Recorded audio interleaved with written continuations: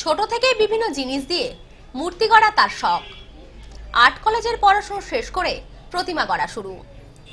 এবছর সুপুরির খোলা দিয়ে মাত্র দুই ইঞ্চির দুর্গা প্রতিমা গড়ে নজির গড়লেন দেবপ্রসাদ। সুপুরির খোলা দিয়ে মাত্র দু সেন্টিমিটারের দুর্গা প্রতিমা গড়ে নজির গড়লেন যুবক। ছোটবেলা থেকেই শখ ছিল নানান রকমের জিনিস দিয়ে মূর্তি গড়া। সেই উপকরণে কখনো মাটি, কখনো বা নানান ফেলে দেওয়া জিনিস। আর এই নেশায় পেয়ে বসেছিল দেবপ্রসাদ ওরফে রাসুর। পুরো নাম দেবপ্রসাদ মালাকার।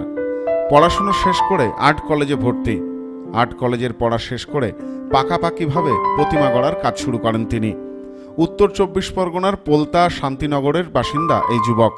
এবছর অন্য দুর্গা প্রতিমা তৈরির পাশাপাশি সময় করে বানিয়ে ফেলেছেন মাত্র দু সেন্টিমিটারের এই প্রতিমা।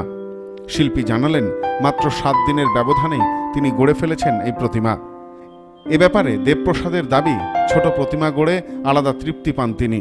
সে কারণেই এই ধরনের প্রতিমা তৈরি করা। সুপুরির খোলা থেকে আঁশ বের করে তা দিয়েই তৈরি হয়েছে এই দুই ইঞ্চির এই দুর্গা প্রতিমা, যা দেখতে ইতিমধ্যেই ভিড় জমাচ্ছেন এলাকার বহু মানুষ। এবার আমি প্রত্যেক বছরের মতো মিনিয়েচার দুর্গা বানিয়েছি, যেটা করার জন্য আমি প্রত্যেকবারই নতুন নতুন মিডিয়ামকে বেছে নিই। এবার যে মিডিয়ামকে বেছে নিয়েছি, সেটা হচ্ছে সুপরির খোলার আঁশ। আঁশকে বের করে নিয়ে তারপরে সুচ, আঠা, এক্সট্রা কাচিলে কেটে ওগুলো দিয়ে আমি এই দুর্গাটা বানিয়েছি। এটা উচ্চতা এটার টু সেন্টিমিটারের। এটা করতে আমার মোটামুটি এক সপ্তাহ মতো সময় লেগেছে।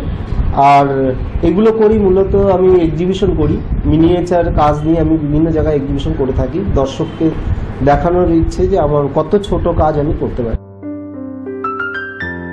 Bureau report, news no man's land, Barrackpore.